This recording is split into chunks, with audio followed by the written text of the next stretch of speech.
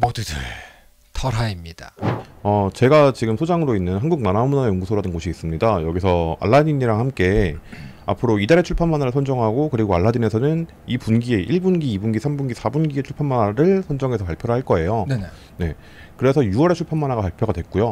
이 6월에 출판 만화는 이 두 작품, 수린당과 쉼터에 살았다 이 두 작품으로 선정했습니다. 어 그렇군요. 음. 네. 이 출판 만화 이달의 출판 만화를 신설하게 된 이유는 일단 웹툰의 시대라고 많이 말을 하잖아요, 우리가. 그렇죠. 그러다 보니까 상- 상대적으로 출판 만화에 대한 주목도가 떨어졌다고 생각을 했어요. 그렇죠. 그러다 보니까 좀 출판 만화만으로 나온 작품들을 좀 조명해야겠다라는 어. 생각을 했고요. 네네네. 그래서 이 만화문화연구소에는 만화평론가, 연구자, 기획자, 작가 등 되게 많은 분들이 계세요. 음. 그래서 이분들이 같이 읽고 논의를 해서 어, 재미랑 의미를 함께 찾을 수 있는 거를 좀 찾았으면 좋겠다 작품들을 음. 그렇게 해서 논의를 했고요. 그렇게 해서 최종 선정될 때에는 일곱 분이 계시는데 일곱 분. 중에 다섯 분 이상이 찬성을 해야 선정이 됩니다. 그러니까 꽤 저희 저희 나름대로는 공신력을 최대한 챙겼고요. 음. 이두 권이 선정이 됐는데 일단 수린당 그 비닐 고치는 집이라는 웹툰이에요. 비늘 고치는 집이요. 네. 수리할 때 쓰고 린이 이제 비닐린이군요. 네, 비닐린입니다. 음. 여기서 이 작품을 꼽은 이유가 어, 재담에서 나왔는데 책이 되게 네. 가지고 싶게 만들었어요. 오. 음.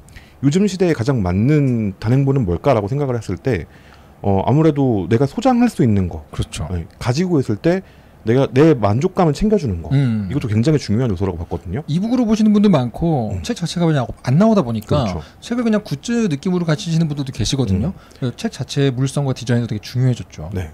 그래서 그 단행본으로 만들었을 때 그 아름다움을 살릴 수 있는 어떤 표본 같은 작품이다. 어. 네, 라고 생각을 했어요. 되게 네. 책을 잘 만들었습니다. 제목부터도 굉장히 예쁩니다. 그죠. 수린당. 음. 그리고 두 번째로 있는 쉼터에 살았다라는 작품은요. 아 제목이 다 말해주네요. 음.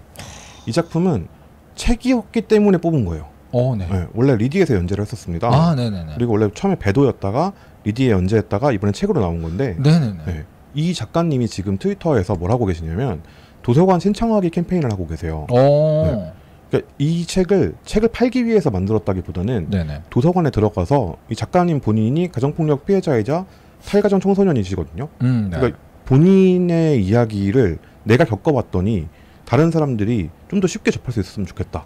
근데 웹툰은 유료니까 아무래도 학생들이 보기는 힘들겠지. 접근성. 네, 접근성이 떨어진다라고 생각을 하신 거예요. 오히려 그러다 보니까 이게 도서관에 들어가 있으면 학생들이 도서관에서 학교에서 마주칠 수 있겠다라는 네네네. 생각을 하신 겁니다. 그렇죠, 그렇죠, 그렇죠. 그래서 그 캠페인을 하고 계세요. 음. 근데 이건 정말로 책이기 때문에 가능한 거잖아요. 그렇죠. 네.